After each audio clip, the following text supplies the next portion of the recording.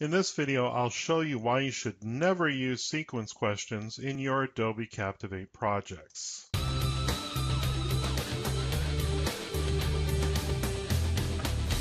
Uh, well, maybe I'm being a bit um, intense with my phrase, should never use sequence questions, but uh, ever since Adobe Captivate released a new feature, a couple of features or a couple of versions ago, I've pretty much stopped using sequence questions. I find that they don't always work as expected. I find some of the users who who interact with them don't particularly appreciate them. Uh, but let me take you through the two different versions that you can set up in your course anyway, just in case it is something you decide you wish to do. Um, if you take a look at the quiz properties inspector here for this sequence, you can see that there are actually two different types, and I've set up the two different types here. The answer type is either a drag drop or a drop down, and I'll show you those differences in a second or two here. And of course, a lot of it is set up much like your regular quiz questions. You have an on success action, you have a, a on failure action, and of course, you can set up uh, different buttons, clear, back, skip, and different captions uh, appropriate for the appropriate feedback. So let's do a quick preview though so you can see the difference between the two. Uh, we'll just do preview next five slides, which will work fine. So here we go. This is the first uh, type of sequence where the user has to drag and then drop the item into the correct order. So if I want to uh, start off by choosing greet the customer, which is actually step one, I drag that and I need to place it obviously above qualify the customer, but that doesn't work in this case. You have to literally drag and drop it to the exact position.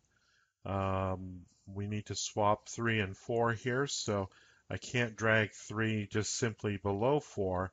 I have to drag three onto four, pushing four up to three, and that's a little confusing. But I managed to get it in the right order. I've had a few people complain about that. Um, you know, it's it's difficult. Uh, some people will think about dragging. Let's say this object needs to go between here and here. So where do you place it? Can I put it between? That doesn't quite work.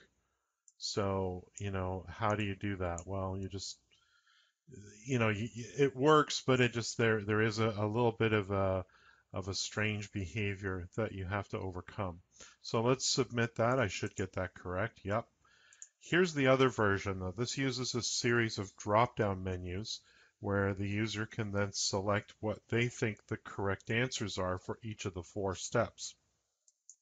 So the first item is greet the customer.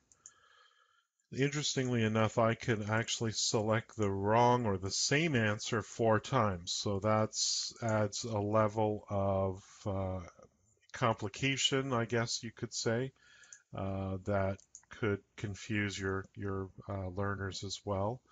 Um, let's see here, demonstrate the product and then ask for the sale. So there's the correct order for the four sales steps here.